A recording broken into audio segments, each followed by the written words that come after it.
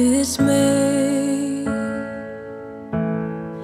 Fear not the darkness. Jesus is here. He walks beside us. Gracious is He.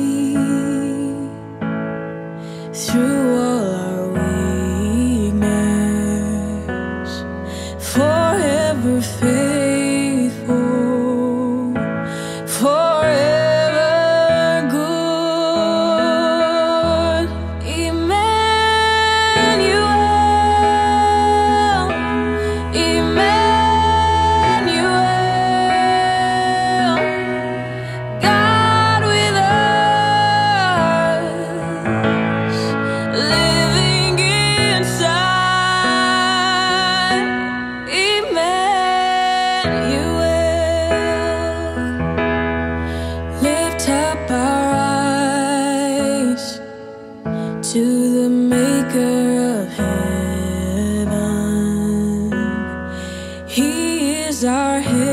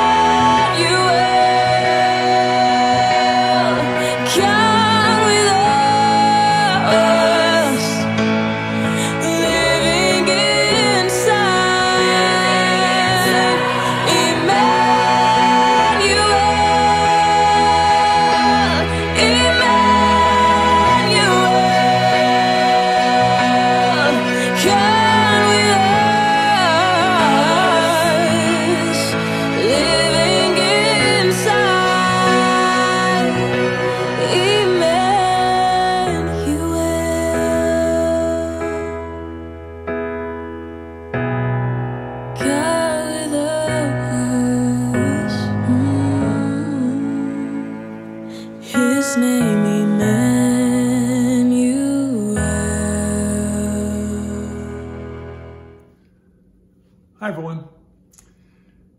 The, the priests and the Levites in the Old Testament were one of the Levites was one of the 12 tribes of Israel. And their responsibility from God was to take care of God's temple. And I think Paul has that idea of these high priests, these Levites, and doing their ministry for God in mind as he talks about how we are to live for God in that pretty familiar passage out of Romans 12. I want to read the first four verses out of it for you. He says, And so, dear brothers and sisters, I plead with you to give your bodies to God because of all he has done for you. Let them be a living and holy sacrifice, the kind he will find acceptable this is truly the way you worship him. Don't copy the behaviors and customs of the world, but let God transform you into a new person by changing the way you think. Then you will learn to know God's will for you, which is good and pleasing and perfect.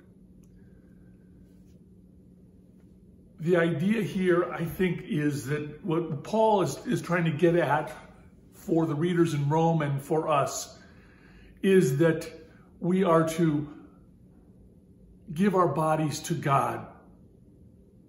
And when he says bodies, we normally think of just the physical being that we are.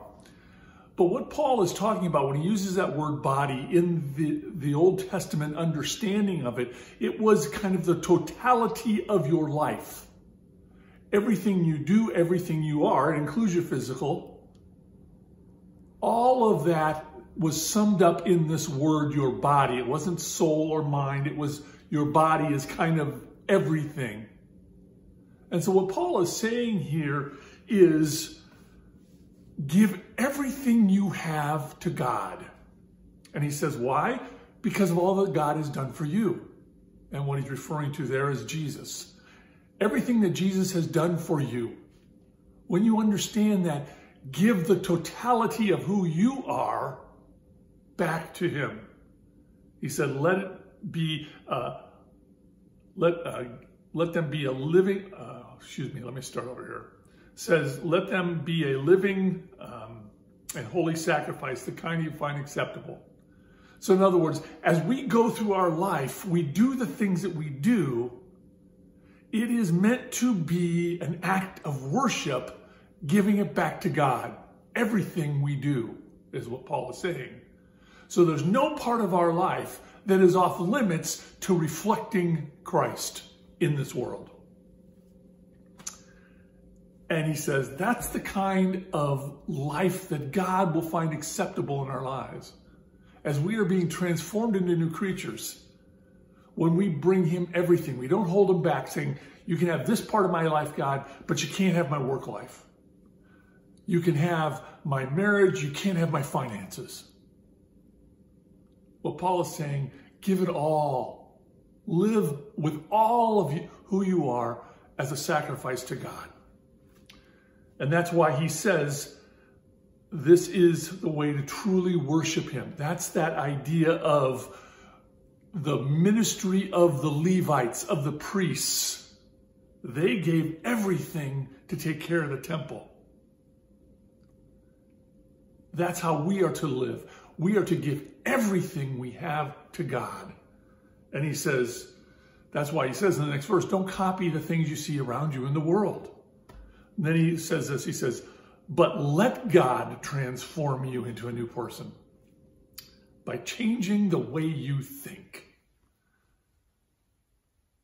Left to our own devices, our mind is corrupt. And apart from God changing it, we are going to continue to lead ourselves down ways that reveal our human nature, our brokenness, our sinfulness. And what Paul is saying here is let God transform you. In other words, you aren't going to do it by just trying harder. You're not going to do it by attending more Bible studies. You're not going to attend it by by simply doing things. It is something that God brings to you as you re release and yield yourself to Him. That's also part of worship. The Levites yielded themselves to God, and God provided for them. As they took care of the temple, and before that, the tabernacle, God provided for them. That's what Paul is saying we are to do. As we give everything we have, God will provide for us.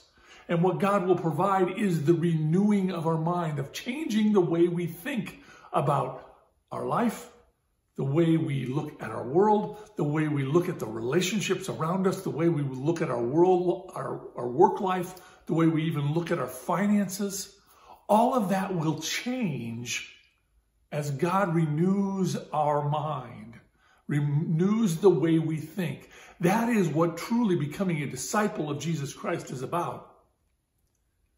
It's about being changed to reflect God more clearly. I think of that verse that Paul writes about how we we are just kind of veiled and being changed from from little bit to little bit more and more into the image of God by his spirit it says.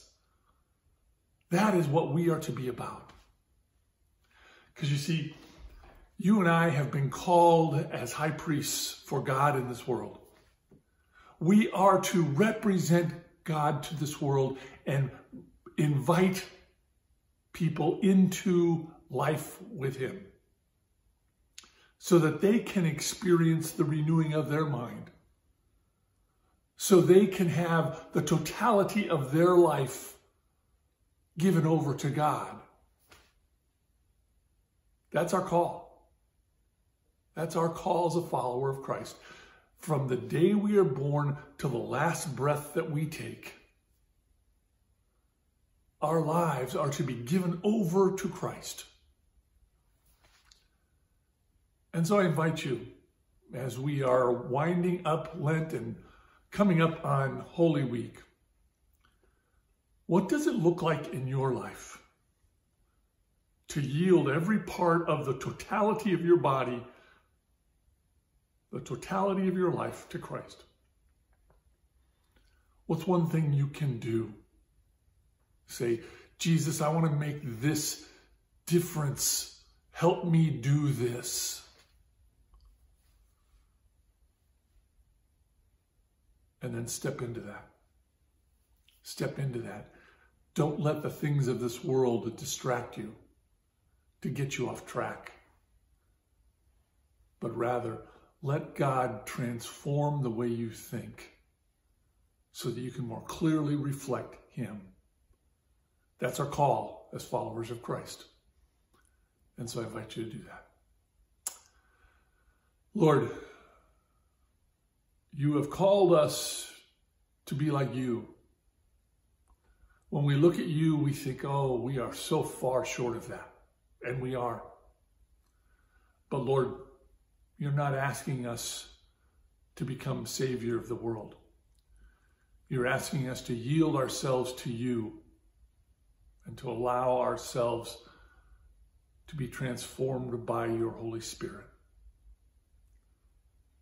I ask that you would do that in my life and in the life of all who watch this. Thank you, Jesus. Amen.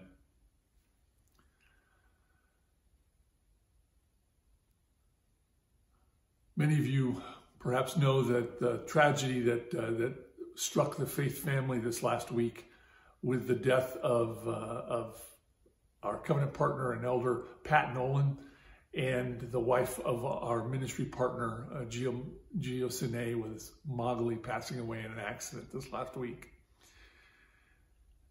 If this is, you're hearing this of the first, for the first time, um, and you're gasping right now, then I invite you to go to um, Faith's YouTube channel and just watch our, our service from yesterday, um, uh, from this last Sunday so that you can kind of see as we try to process that a little bit together. If you're wondering about what's next, um, we will be having a service uh, for Pat Nolan at some point in the near future. The details haven't been finalized yet. Once they are, we'll we'll let we'll get them out to you. And Gio will be returning with Magali back to Guatemala um, at some point in the near future as well. So continue to uphold them. And if you would like to uh, support Gio in uh, some of his financial uh, expenses um, in terms of just getting her remains back and then having a, uh, a, a service in Guatemala City.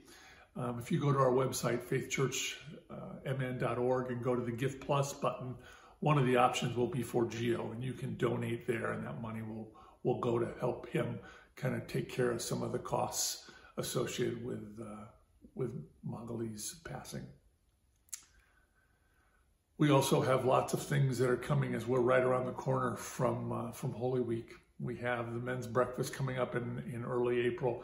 They'll take a look at the, the email that comes with this, as well as the dates for our Holy Week services, and knowing that uh, that Pastor Kurt will be preaching on Easter. So just some of the things that are coming for us, and wanted to let you know about some of those. So I encourage you, don't let this world beat you down but rather be transformed by the renewing of your mind. For that is what God desires for you and for me. God bless everybody. Have a good week. Bye bye now.